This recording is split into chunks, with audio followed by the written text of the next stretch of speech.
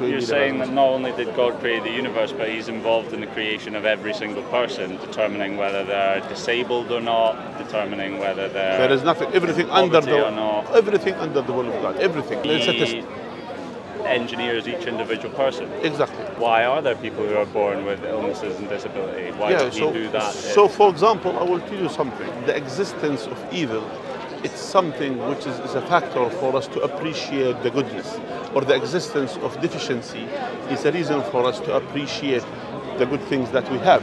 For example, if everyone is perfect, if everyone is in good health, no one's gonna die. Uh, we will, ha- will have to all of these things for granted. That's, this is the no. If the evil doesn't exist, we'll not appreciate the good things that we have. so God makes disabled people so that we appreciate our good health. Not, not necessarily those disabled people. This is test for them, the same as the good health for you is a test for you. So it's a test. Even the good health that you have, you'll be questioned about it.